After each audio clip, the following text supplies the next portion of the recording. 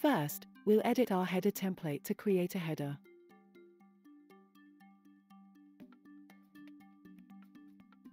We have a new element, header row, for building the individual rows. These have their own header-specific settings which we'll look at later. Let's give the header a white background and increase the height. And add some elements in.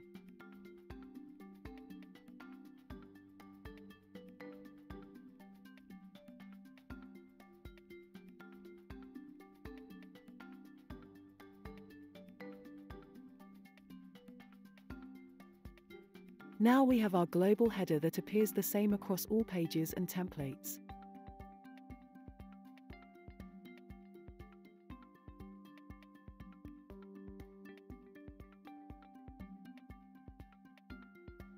Let's make the header overlay the top section.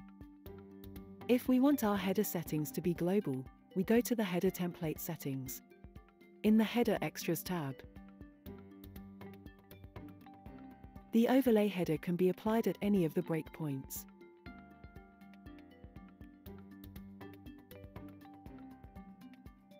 We click to apply the settings to the template. Let's view our pages on the front.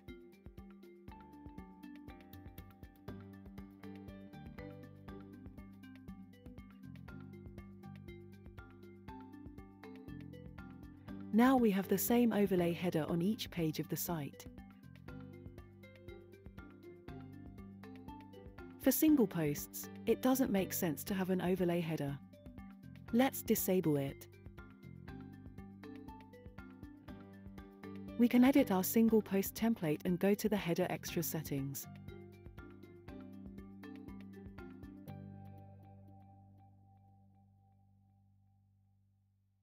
The defaults will all be inheriting the global settings. We can override it just for this template. Let's set it to none and apply our template settings.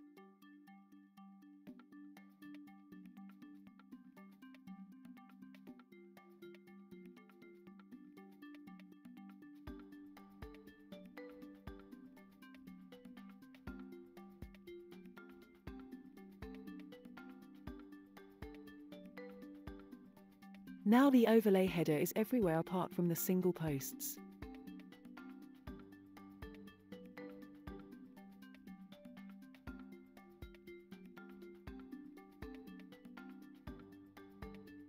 If we didn't want the overlay to be global, we can remove it from the header template settings. And then just apply it where we need it.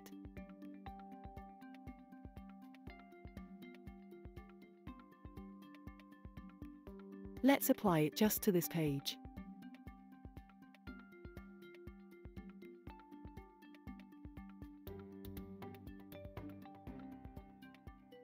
Here we go to page settings.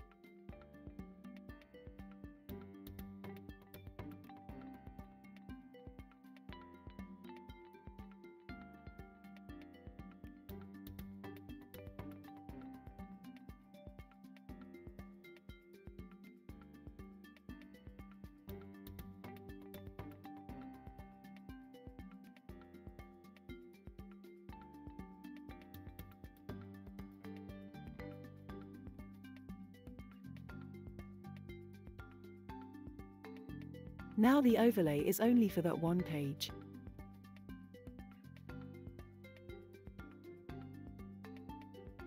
Let's look at sticky headers.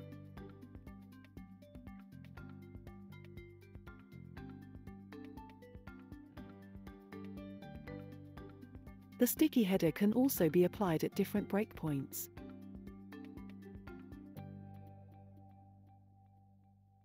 We want the header to be sticky after scrolling 300 pixels. And we'll add a transition for it to become visible.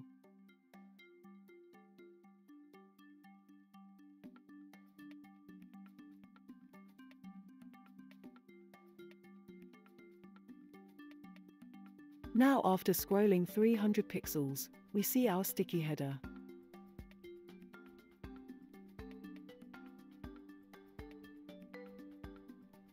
We see the same for the overlay header.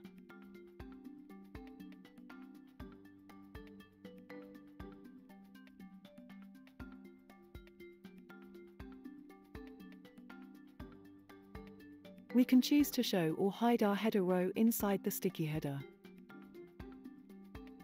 And we can change the styles when sticky.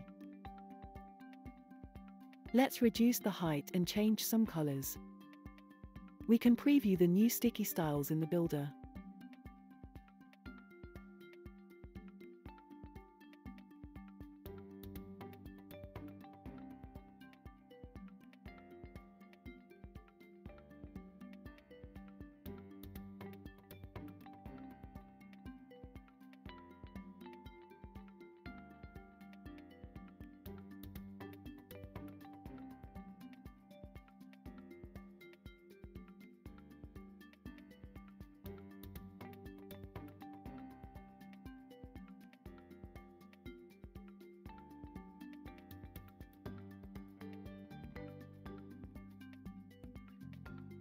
We can also hide the header after scrolling a set distance.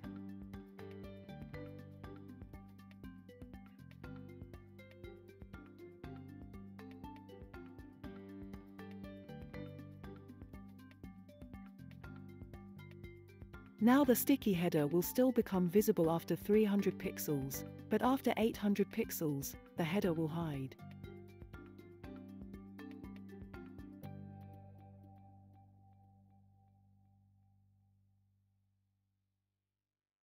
It can also slide up.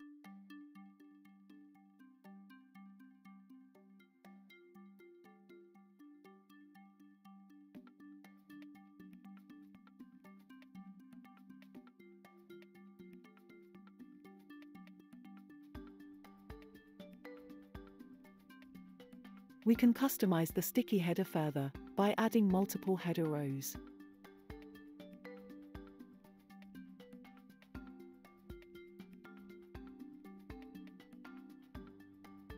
We'll show just the menu inside the sticky header.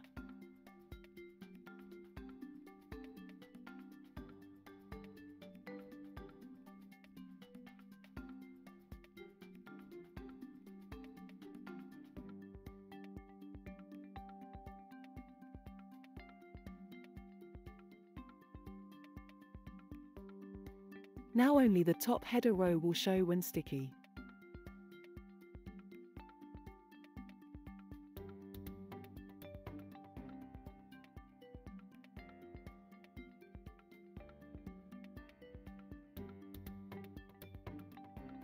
This allows us to create completely different sticky headers.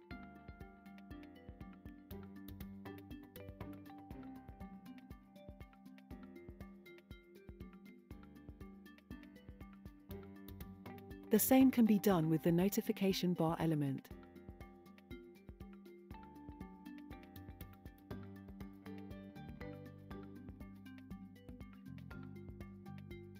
We can set it to only show inside the sticky header, which then gives us a dismissible sticky header.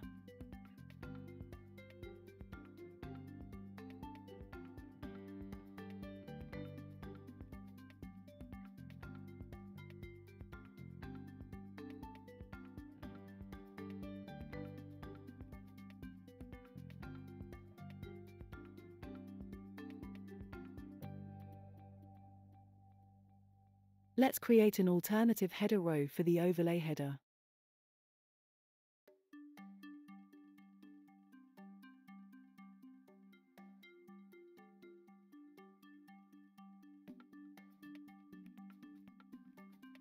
This can be our overlay version.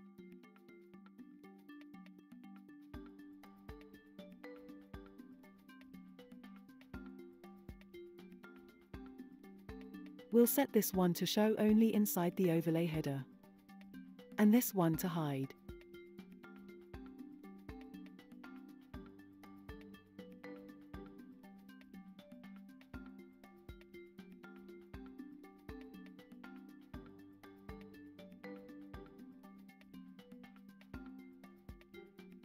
When the header is overlay, we see our alternative header.